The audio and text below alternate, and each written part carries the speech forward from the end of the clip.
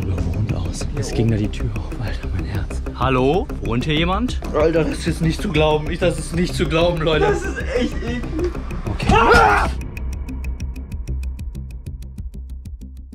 In diesem Sinne, hallo und herzlich willkommen, meine lieben Damen und Herren, zu einem neuen Video zusammen mit mir, Berghand. Und mir, Leon von Leon TV. Das wisst ihr wahrscheinlich, weil ihr hier auf meinem Kanal seid. Leute, wir sind mal wieder auf einer Tour unterwegs, ja.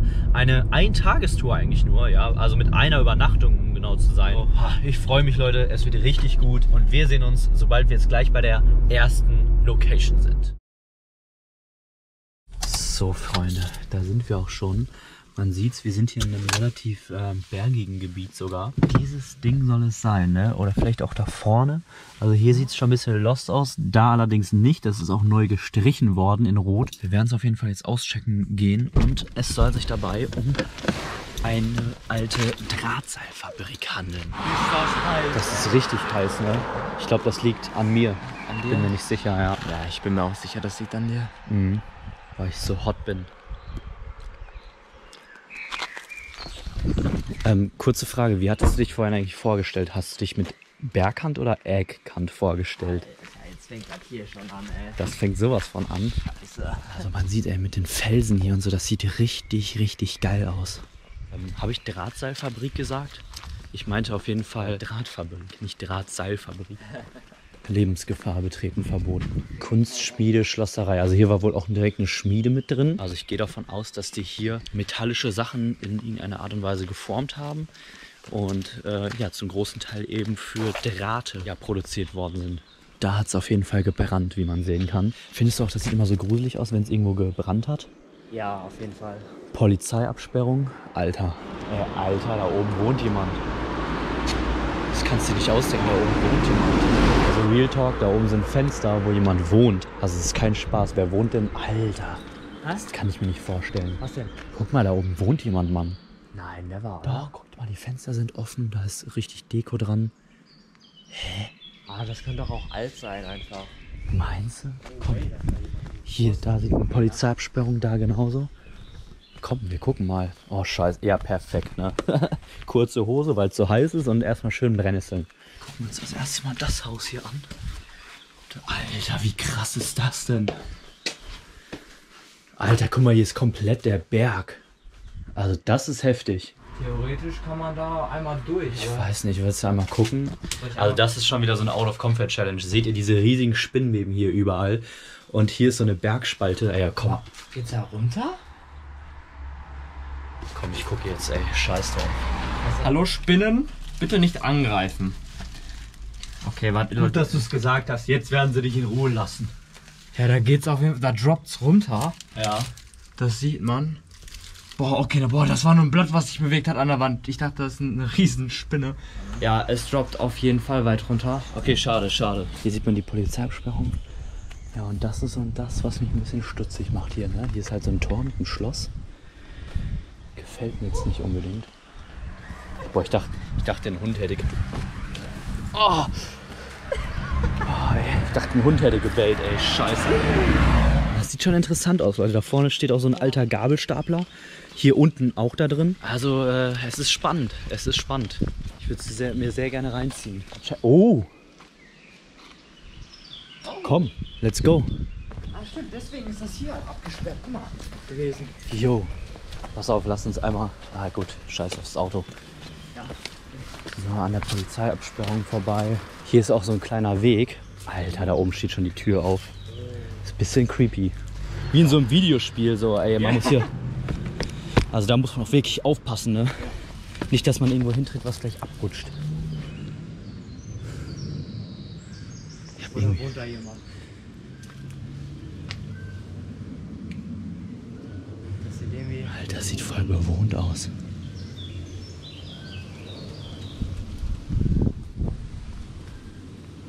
Vielleicht wohnt hier. Es ging da die Tür auf, Alter, mein Herz. Vielleicht wohnt hier doch jemand? Oh. Wer geht vor, ist die Frage. Ich kann vorgehen, wenn du möchtest. Ja, man kann sich auch irren. Aber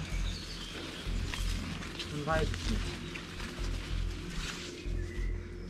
nicht. Scheiße. Hallo?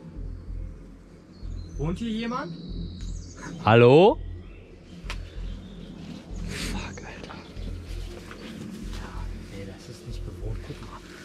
Das hier alles schon am Gammeln ist. Also, Wer weiß, guck dir mal die Blumen da oben an.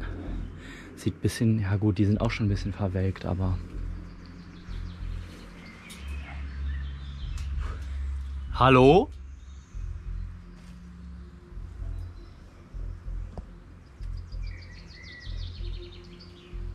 Wohnt hier jemand? ich meine, theoretisch kann hier auch keiner wohnen, wenn das Erdgeschoss einfach komplett niedergebrannt ist. Das könnte, ja jede Sekunde einstürzen. Ach du Scheiße. Ich mache mir eigentlich mehr Gedanken wegen des Brandes unten runter. Da hinten ist so ein Katzenbaum.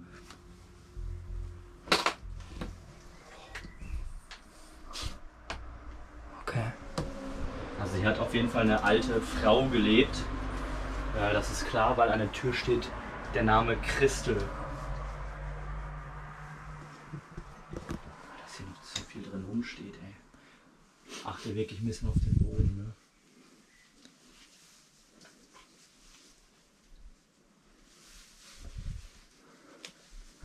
Ach du Scheiße.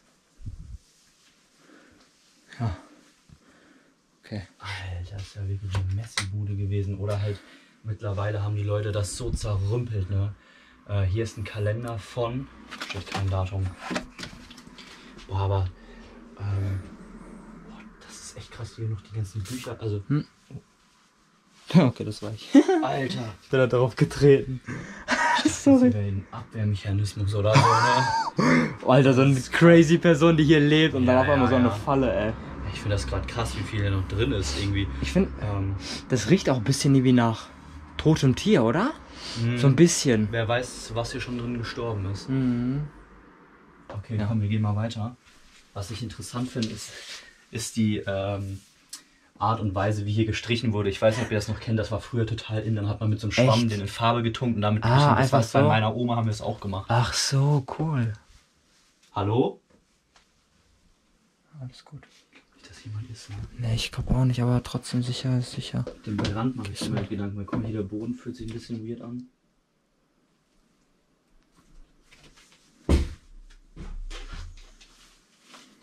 Das glaubst du nicht, ey.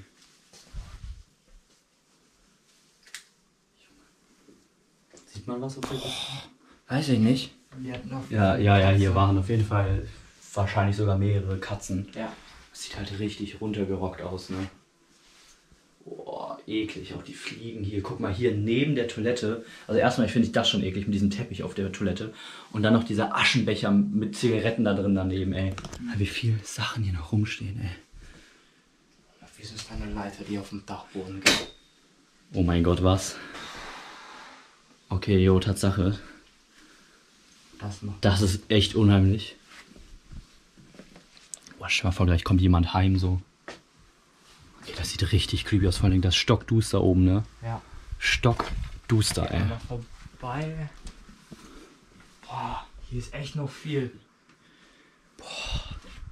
Wäre der Ort nicht so verwüstet, wäre das echt ein geiler Ort, glaube ich. Man sieht, dass es nicht allzu alt ist. Also ich gehe Nee. davon aus, dass das nicht älter als fünf Jahre sein wird, ne? Ähm, anhand so der Gegenstände, die man hier findet, die Designs, der Objekte. Hier sieht man auch noch so alte CDs und alles Mögliche. Also ich gehe davon aus, dass es hier, äh, dass hier einfach eine Frau verstorben sein wird. Die Frage ist halt, äh, warum ist dann der Ort wieder verlassen? Ne? Wir sagen ja VIP-Ticket. Ihr seid eingeladen, wahrscheinlich ein Hochzeitsticket hier an der Stelle. Hier auch noch so alte amerikanische Firetrucks ausgestellt. Wer weiß, ob die noch einen Wert haben, ne? Das ist ja echt krass. Manchmal so Sammlerstücke unterschätzt man richtig und guckt mal, wie gut die erhalten sind. Offensichtlich hat die Dame, die hier gelebt hat, auch sehr gerne geraucht, ja. Feuerzeug, Zigaretten. ja, noch. Das geht Funktioniert sogar noch. Ich, da- also es wird nicht länger als zwei, drei Jahre her sein dann. sogar noch. Echt? Ja, bin ich mir sicher. Das sieht auch, ah, das sieht zwar verwüstet aus hier, aber es sieht trotzdem so neu aus alles. Also es ist nicht dieser typische Lost Place, wo du reingehst und so richtig ähm, die, die Zeitgeschichte siehst. Also ich glaube, hier hat einfach ein älterer Mensch gewohnt. Ja, auf jeden Fall eine alte Katzendame. Guck mal, auch hier nochmal so eine Katze drauf geschrieben. Ja, ja, ja. Hier ist sie irgendwann umgestiegen auf E-Zigaretten. Alter, der geht sogar noch. Guckt euch das an. Hier ist ein Taschenrechner, der noch funktioniert. Krass, Alter. Also das hätte ich nicht gedacht, ne? Und dass wir so einen Ort jetzt als erstes. Ist wirklich so. Oh, wer weiß, was man hier alles noch findet, wenn man hier alles in Ruhe mal durchschaut, ne? Ja. Was ist das, Alter? Das sieht aus wie so ein Tütchen Cannabis oder so, aber das wird es wahrscheinlich nicht sein. Hier noch, oh, Katzenleckerlis, lecker. Können wir doch mitnehmen für dich auf Tour, Berghand. Hä? Genau, richtig. Das ist schon auch ein bisschen. noch mal ein Bett. Warte, war, hatten wir schon? Da war auch ein Schlafzimmer. Ne? Ja, ja, da war, aber vielleicht Enkelkinder oder so, das kann natürlich Ja, sein, aber ne? Das sieht so ein bisschen. Also meine Oma hat auch bei sich in der Wohnung, hat sie noch äh, zwei weitere Schlafzimmer, weißt du, lebt trotzdem alleine. Weil hier ist auch Happy Birthday, sie wurde zu Hochzeiten eingeladen. Ich gehe nicht davon aus, dass sie komplett alleine war und keine Familie hatte, ne? Trotzdem ist es natürlich umso verwunderlicher, warum dieser Ort dann so verkommt hier. Alter, ich glaube, oh, ich habe echt Angst davor. Oh nein.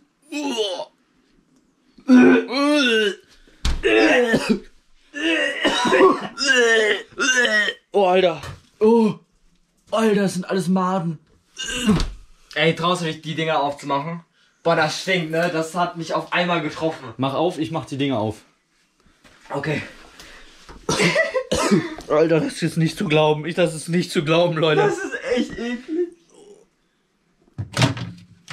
Oh, Alter, Alter. Da ist auch irgendwas drin, ne? Ja, so äh, Tupperdosen. Also wer weiß, was da drin vergammelt.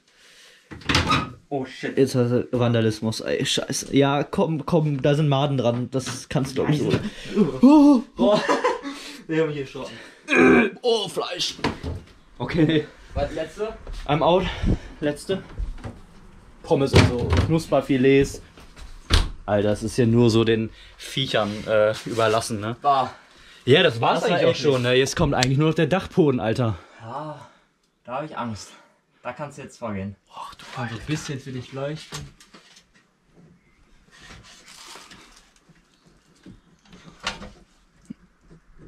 Da steht einer.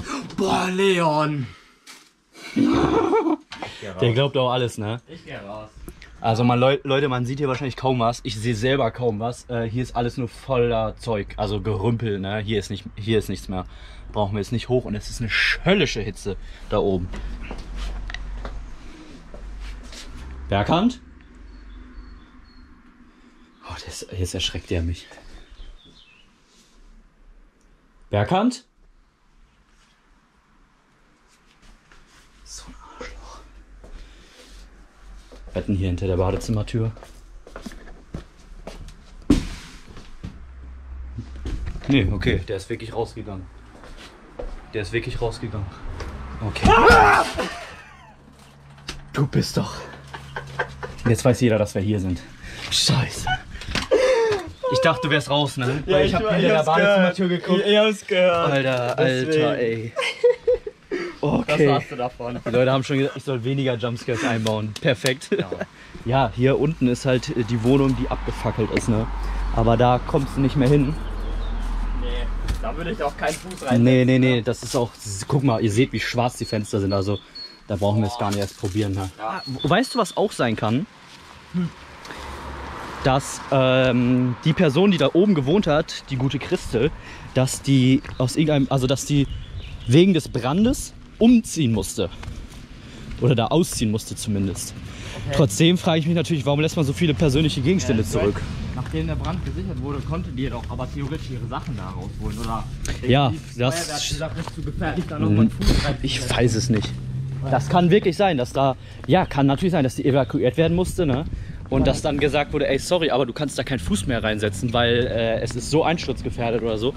Oh. Könnte ich mir vorstellen, gerade in Deutschland, weil die ja noch mal ein bisschen gesondert aufpassen da, ne? Für sie wenigstens die Sachen draußen vor der Haustür, die die auch mitnehmen können.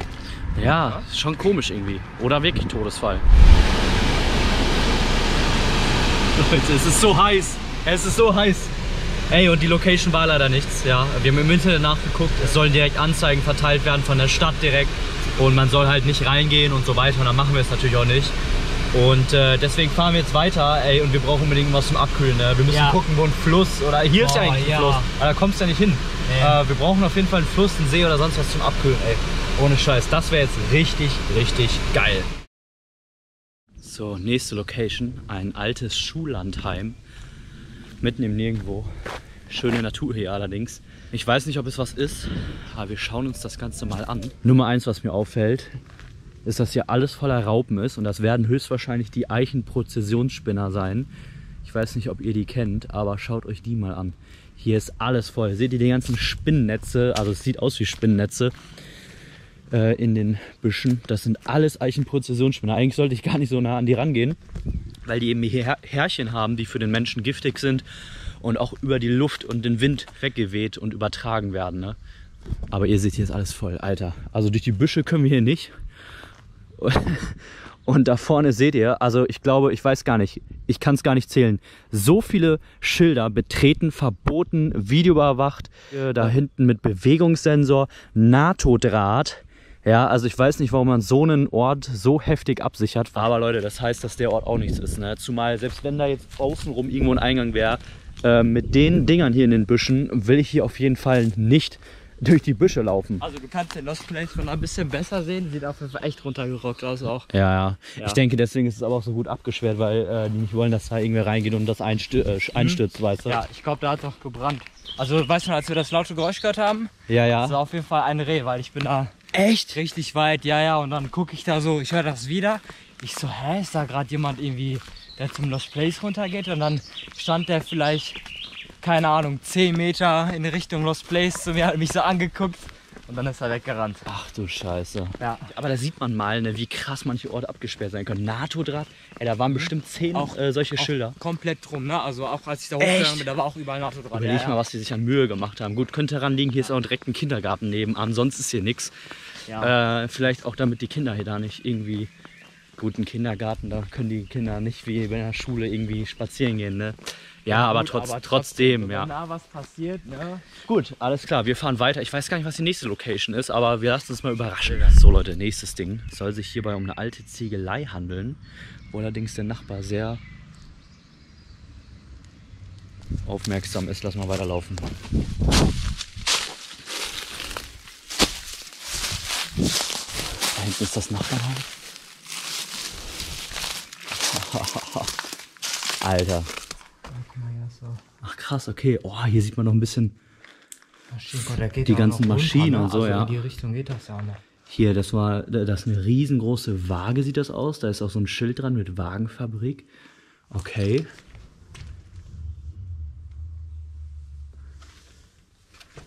Alter, pass auf, da bricht der Boden schon zusammen, ey. Okay, krass. Ja gut, aber wie du schon sagst, ey, das ist eine, das ist eine übelste Baustelle. Ich weiß nicht, ob das wert ist, das zu riskieren, Leute. Auch mit dem ganzen Sand, der hier liegt. Ich weiß nicht, wie der Boden hier ist, weil man sieht es halt auch nicht wegen des Sandes, ne?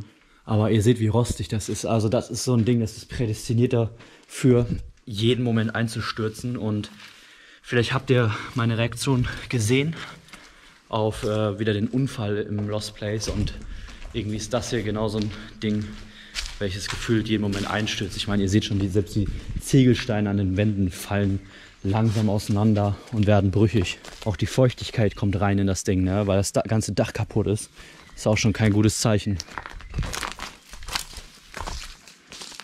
Ah, okay. Ich verstehe. Ach, solche ähm, Steine waren das, okay. Sind ja nicht so die zy- typischen Ziegelsteine, die man kennt, sondern eher, ja, diese weißen, ne? Ja, das hier lang. dann. Willst du da wieder hoch? Also Da ist der Zaun, da kommst nicht lang.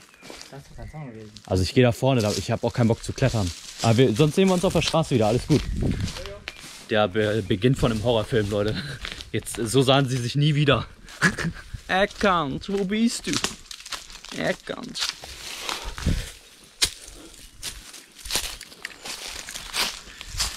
Immer wenn man in der Nähe von so verlassenen Orten ist. Ich lächle die an und der guckt so.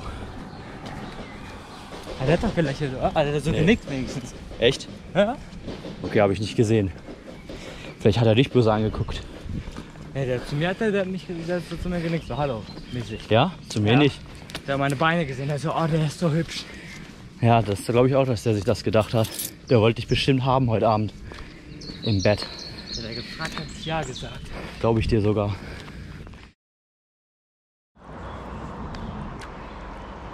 Hallo Zuschauer.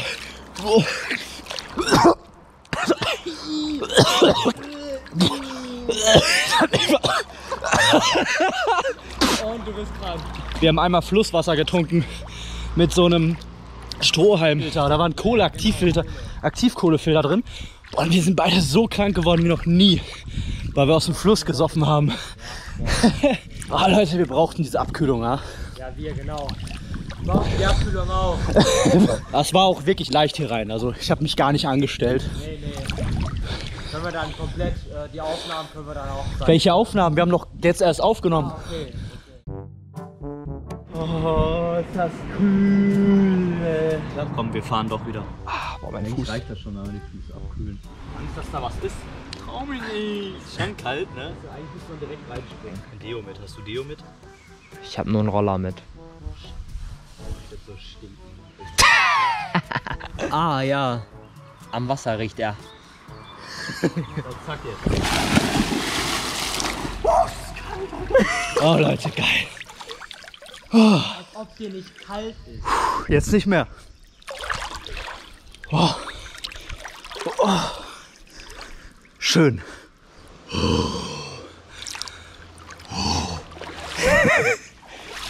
So, abgekühlt. Jetzt können wir weiterfahren. So. Ja, mach mich nass. Let's go. Und bei 5000 Likes schubsi ihn. Das ist die Strafe, dass du nicht mitgekommen Bah, das riecht nach Flusswasser. ja, das roch irgendwie nach Döner.